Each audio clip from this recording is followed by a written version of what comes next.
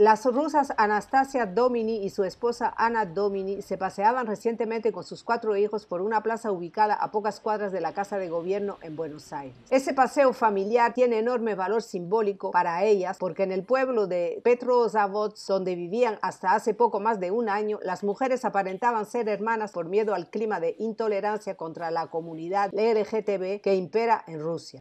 En Rusia teníamos miedo de todo, de ir a la calle, de tomarnos de la mano, de abrazarnos en la calle, de decirle a alguien que éramos dos mamás de todos esos niños. Anastasia y Ana se casaron poco después de llegar a Buenos Aires en enero de 2022, cuando la invasión a Ucrania era inminente, migraron a Argentina con sus hijos Mikhail, Axinia, Agata, y una, gemelos de 6 y 3 años. Rusia ilegalizó los matrimonios entre personas del mismo sexo en 2020 y en diciembre de 2022 el presidente ruso Vladimir Putin firmó una ley que ampliaba las restricciones a las actividades consideradas de promoción de los derechos LGBT en el país. La Federación Argentina LGBT ha recibido unas 130 consultas en el último año y medio de rusos interesados en buscar refugio en Argentina más que cualquier otra nacionalidad.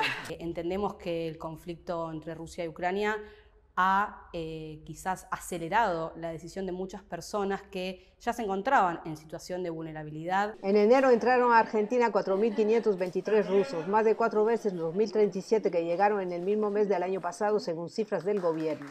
Al menos 34 parejas rusas del mismo sexo se casaron en Argentina en 2022 y 31 en lo que va de año, según la Federación Argentina LGBT. Nadezhda Svortosova, de 22 años, y Tatiana Svortosova, de 29, se casaron menos de un mes después de mudarse a Buenos Aires.